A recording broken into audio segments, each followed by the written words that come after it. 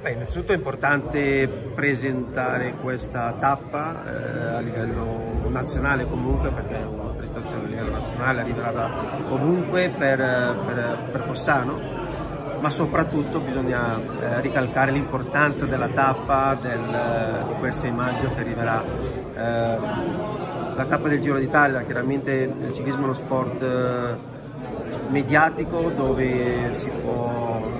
andare a vedere il territorio, il comune, i castelli, grazie alle riprese, alle riprese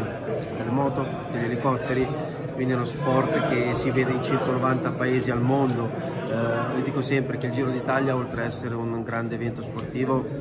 è una festa nazionale, tutti i bambini eh, sono sulle strade a tifare, a gridare, a vedere la carovana rosa eh, che passa, quindi eh, per, per, Fossano avere soprattutto un arrivo di tappa, una tappa del Giro d'Italia, inizio giro, quindi ci sarà tanta, tanta gente, tanta voglia di Giro d'Italia, sarà una grande, una grande festa, semplicemente una festa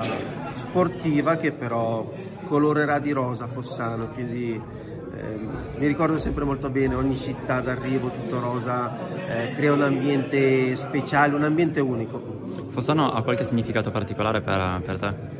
Ma io sono stato legato diversi, un paio d'anni proprio a Fossano, al Piemonte, a questa zona, correvo